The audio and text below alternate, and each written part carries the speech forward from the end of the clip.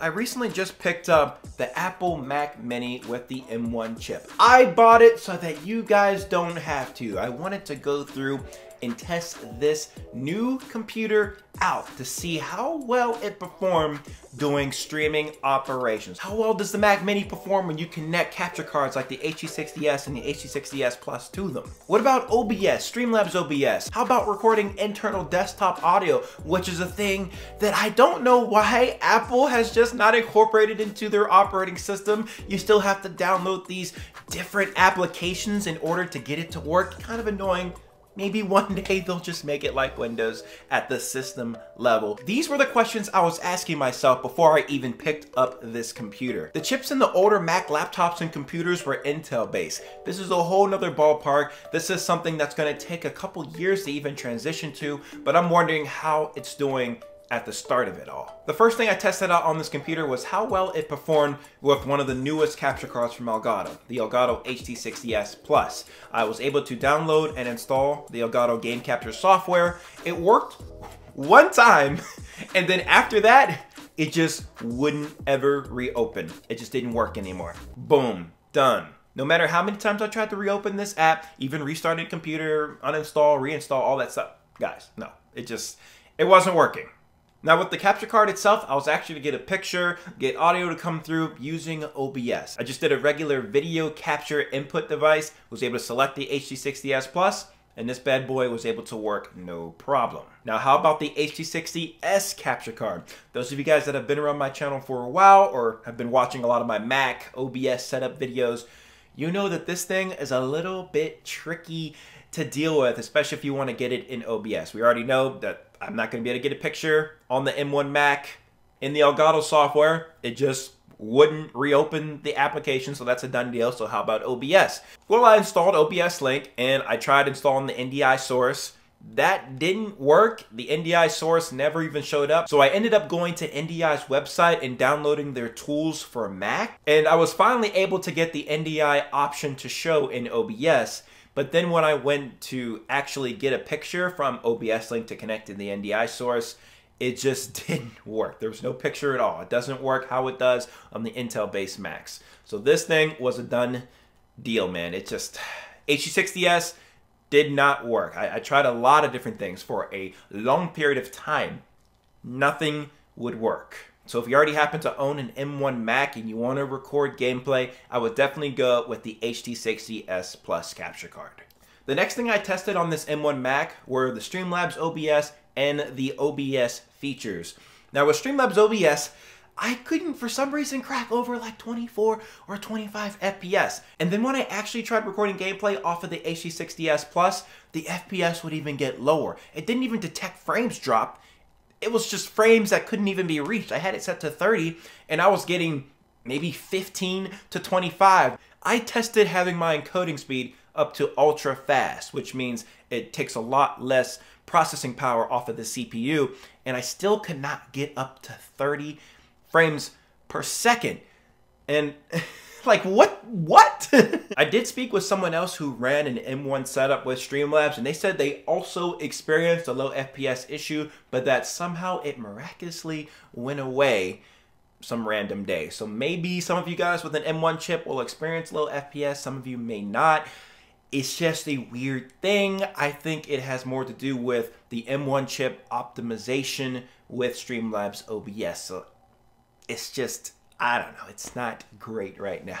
When using regular OBS, things seem to be a little bit more stable. It didn't detect frame drops. It, it seemed to hold 30 FPS until I actually tried to do a recording. Uh, yeah, you can see in the example here, it's not ideal. Some parts are smooth, some parts not so much, especially when you get more action. If you want to remove the choppiness, of course, you can increase the encoding speed, like I said earlier, so that it takes less stress off of the CPU but still it's it's a little blurry, it's still a little choppy. It doesn't look optimal. It's not the quality you would ideally want. If you're a subscribed member on this channel, you probably saw that I did a stream test using this Mac Mini and based on the quality of that stream, it wasn't too bad. It was fine. It wasn't choppy, really, you know, at a 3000 to 3500 bitrate set. So I think you could look at that and say, hey, you know what, that's not too bad. It's all right when it comes to streaming, and I could agree with that. You can only do one thing or the other, record or stream. Don't dare try to do them together. The CPU is going to overload and it won't be able to record good footage at all. If your stream settings are right, here's an example on screen. These are what I went with to stream to YouTube and the quality was pretty decent. And you can see here when I wasn't in the middle of heavy gameplay,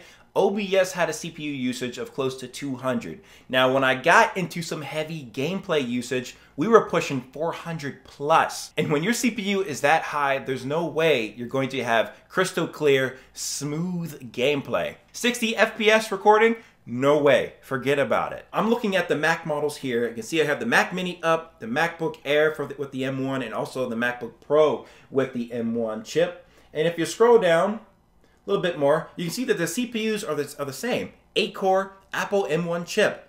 If you go down the compute, you see that the specs are the same. The chips are the same. And you'd think with an 8-core CPU with 8-core GPUs as well within that chip that it would perform better, but that's not the case. It comes down to optimization with these apps. So more of the story here, can you get away with recording or streaming gameplay from your Mac with using the M1 chip?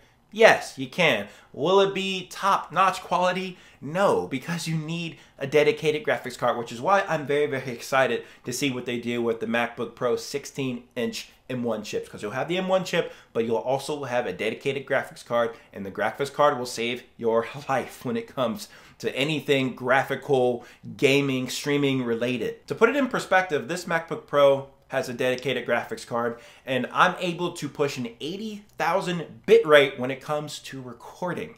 That's right, 80,000. And I don't need to set an encoding speed because the graphics card does all that work for me. It, it makes the quality as best as it can automatically. So that takes the load off of your CPU and you'll have a much better running stream or recording. Though I found it weird with the Mac Mini that the fans never kicked on while streaming, it was silent as a mouse, and I didn't experience any crashes either or, like crazy performance issues while just using the computer in general. So that was pretty cool. How about recording internal desktop audio? That's actually possible to do. I'll go into a separate video outlining in detail what you have to do, but just as a general overview, all you need to do is download the application called iShowU Instant. It's specifically for the M1 Mac. Go ahead and sign up for the free trial. Download this application and once it's installed, then you want to find the drivers. These are the SWB drivers so that you can record that internal desktop audio. After installing these drivers, I was able to select the SWB option to record desktop audio anytime that I need it. But that's to do it for today's video, guys. I hope you enjoyed it. If you did, make sure you hit the video with a big thumbs up and also subscribe to the channel if you're new around here with the notifications on. I know I went kind of in on the M1 Mac. I, am I'm sorry, but I just wanted to be honest because I don't want you guys to pick up one of these devices and then just have issues out the wazoo thinking that you're gonna get something amazing and you're confused as to why it's not working because this chip's supposed to be so powerful and it's, I'm like, what's wrong with my footage? It's not that great, come on, help me. I, I just want you guys to be well informed. So if anything, I always recommend getting a laptop, especially if it's gonna be a Mac with dedicated graphics. Get something that is separate in and of itself so you can use the hardware encoding feature within OBS so you can get the best quality gameplay footage. That, that would be something on a MacBook Pro 16 inch. If you guys are really itching to get an M1 Mac to stream, just wait it out just a little bit longer. Wait for at least the MacBook Pro 16 inches or the iMacs to come out where you can get a dedicated graphics card plus the M1 chip. So that way you can do all your streaming operations on that graphics card and it, will it'll just make your life so much better. Trust me. So just wait it out, save your money, and it'll be far worth it in the future. All right, guys, I'm gonna leave it there. Hope you guys have a wonderful rest of your day, and I'll see you in my next video. Peace out.